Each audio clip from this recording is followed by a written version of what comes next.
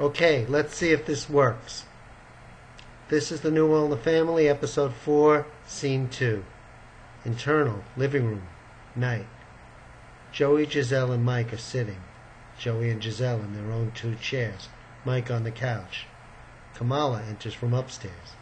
Kamala, smiling. It was really nice meeting all of you.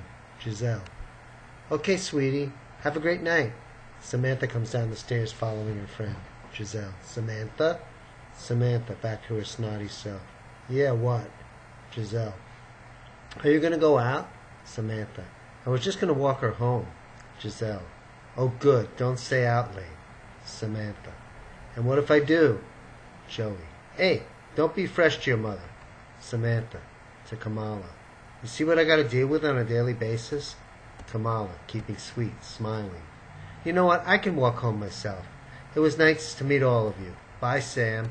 Samantha. I'm coming with you. Kamala quickly leaves, followed by Samantha. Joey. She's got great manners, but there's something really strange about her. Mike. Here we go again. Joey. Hey, I got a right to be interested in whoever my daughter chooses to hang out with. Mike. Yeah, but with you it always turns out to be something really disgusting. Joey. Oh, I'm disgusting now. You mean to tell me you didn't pick up a vibe from that girl? Mike. A vibe? No, I didn't. She's just a normal Joey interrupting. You call that normal? Mike. Oh my God. How did I end up being with a son who's anything but normal? Joey. I'm going to pretend I heard nothing, because you have no idea who you're dealing with in that kid. Trust me. Giselle. It's been a long day, honey. Let's go up and relax. Mike, leave off him now. I think we've all had way more than enough for one day. Joey. I'm not going to relax until I figure out what's not right about that girl. Oh, wait a minute. I said she seemed like a boy, didn't I? Didn't I? Mike. Yeah, you probably upset Samantha. She's probably never going to talk to you now.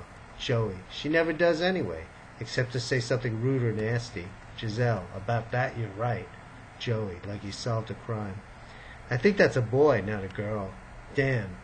And I let that boy go upstairs when boys are not allowed up. Who knows what they did up there? Giselle. She's not a boy, Joey, and they didn't do anything. Don't be ridiculous. Joey. How do you know? Were you there? Giselle. Come on, let's go upstairs. I'm about to drop dead, and so are you. Mike. Wait a minute. You know, I hate to agree with Joey, but whether it's a boy or girl doesn't mean nothing happened.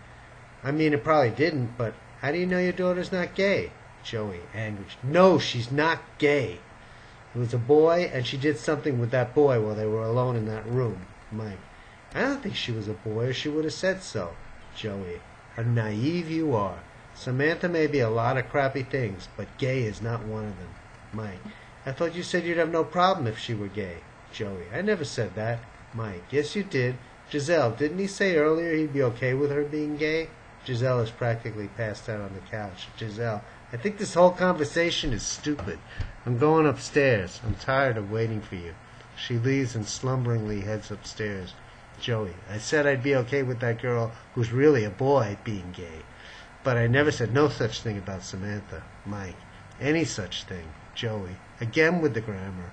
All right, think whatever you want. That girl, I mean that boy, is banned from now, from banned from upstairs from now on. Mike makes a deriding, quasi-upset face and shrugs his shoulders. All of a sudden, Josh enters from the kitchen and proceeds up the stairs, saying nothing. Joey. Hey, how long you been in the kitchen? Josh has already gone upstairs. Joey. You see that? Not even a hello. Mike. Leave him alone. He's had enough schooling for one day. Joey, smiling. Oh, yeah? You gave him a good lesson? Mike. Yeah, it actually went really well.